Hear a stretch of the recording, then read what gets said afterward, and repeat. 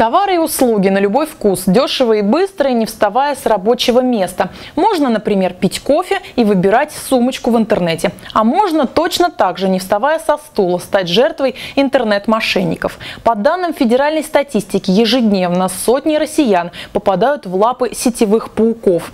Средний ущерб от таких онлайн-афер примерно 15 тысяч рублей. Как показывает практика, спрос рождает не только предложение, но и желающих обогатиться – Правда, за ваш счет.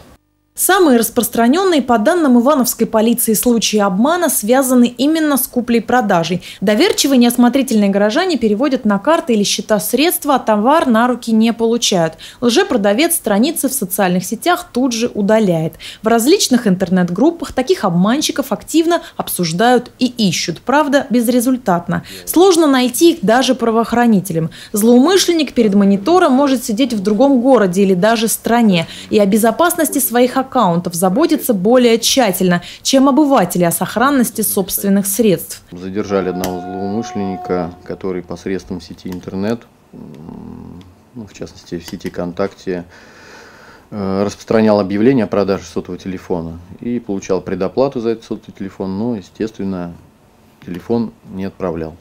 Вот. Э, как выявилось, большинство из этих преступлений совершенных потерпевшие не обращались в полицию.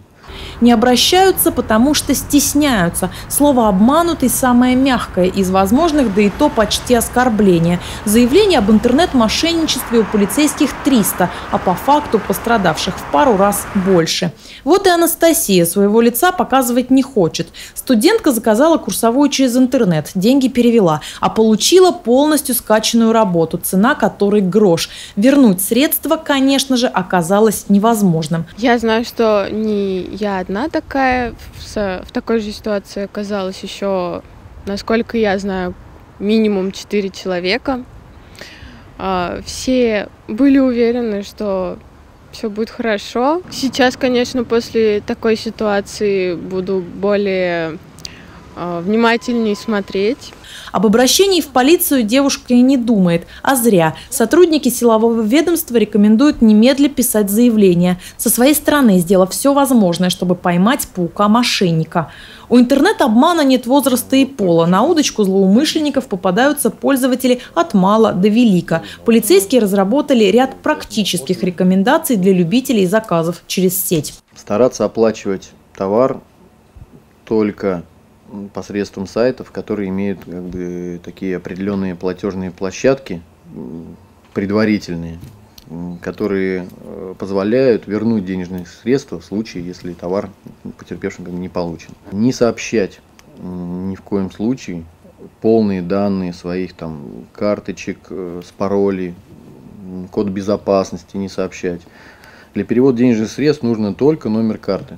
Ну а еще нужно быть немного интернет-шерлоком, внимательно изучить сайт или страничку поставщика товара, почитать отзывы, присмотреться к контактам, проверить наличие уставных документов.